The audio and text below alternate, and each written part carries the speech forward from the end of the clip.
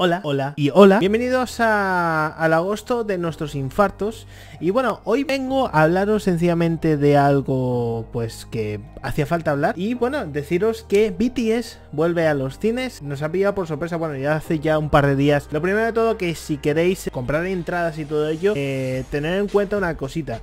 Mm, ya podéis comprar las entradas, eh, irlas comprando ya, porque se os van a acabar seguramente ¿Por qué? Sencillamente porque el cine está limitado a un 50%, en el cual es un 50% menos de personas y 50 menos por ciento de capacidad, y eso significa que lo vais a tener bastante complicado a la hora de pues, eh, pues ir al cine, ¿no? Prácticamente. ¿En qué consiste y en qué se basa este documental? Bueno, como ya sabéis, eh, este es el, documental de Break the Silence, el cual salió en YouTube.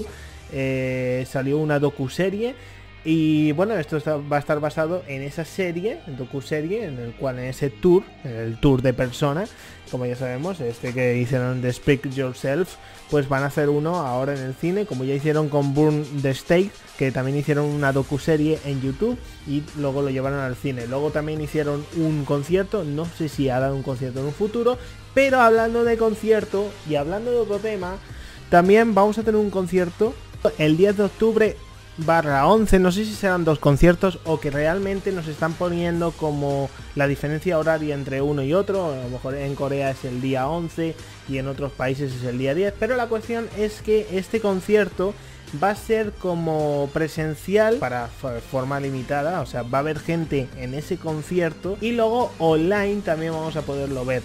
Imagino que presencial pues será eh, en Corea. no creo que sea eh, en España, aquí de repente, no. Lógicamente va a ser en Corea, eh, va a ser allí y, y tal. ¿Se desconoce el precio?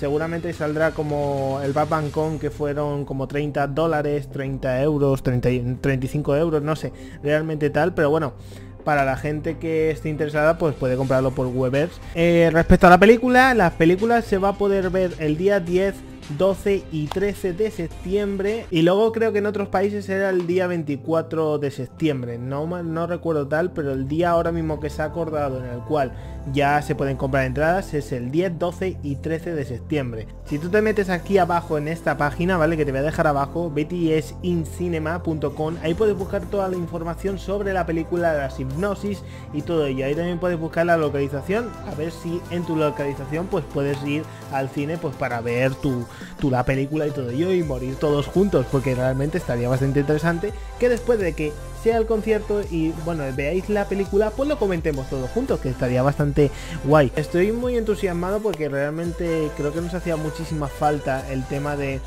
de bueno de revivir a BTS así de tan de cerca el día 21 tenemos el single eh, el día 10 de septiembre tenemos un cine, el luego, eh, bueno, 10, 12 y 13 tenemos el cine y luego pues el 10 barra 11 tenemos un concierto en directo pues con BTS. Mm, ah, por cierto, hablando de ese concierto, eh, he de decir que ese concierto eh, es como si fuera el concierto del tour que íbamos a revivir en Mapos de Soul 7 que tuvo que ser cancelado por la maldita pandemia de los huevos si seguimos adelante de esta mierda. Pero bueno al respecto de todo eso pues creo que estamos ya bastante felices porque nos van a traer bastantes cosas. También se rumorea de que a finales de mes no, a finales de mes, no, perdón. A finales de año eh, salga nueva música de BTS. También se rumorea que salga un nuevo juego de música. Bueno, no, se rumorea, no, es que lo han anunciado. se rumorea que salga un nuevo juego de música tipo Superstar. Que, bueno, Superstar lo quitaron y ahora van a hacer. Se ve que como que lo quitaron para hacer un nuevo juego y hacer uno nuevo.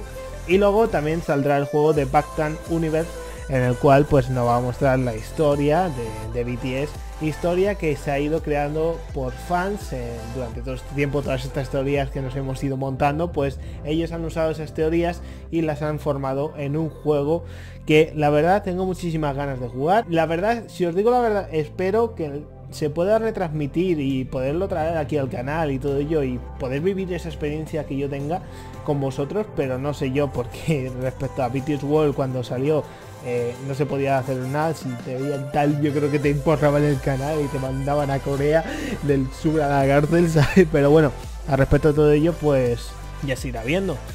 ¿Qué más? ¿Qué más? De lo que han hablado ahí en la, en la esta, bueno, también se ha anunciado de que va a haber este año un nuevo grupo de Big Hit. Se ha anunciado que va a haber un nuevo grupo del programa este de Island. Luego también han dicho que va a haber un nuevo grupo de chicas en 2021 y en 2022 también va a haber un nuevo grupo de chicos son cosas que han anunciado así, porque sí, ¿sabes?